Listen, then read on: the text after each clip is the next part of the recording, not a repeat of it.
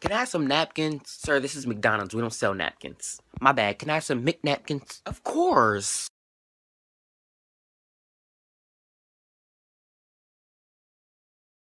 Hi, my name is Trey. I have a basketball game tomorrow. That one's got it. Whoa! I fell on my booty.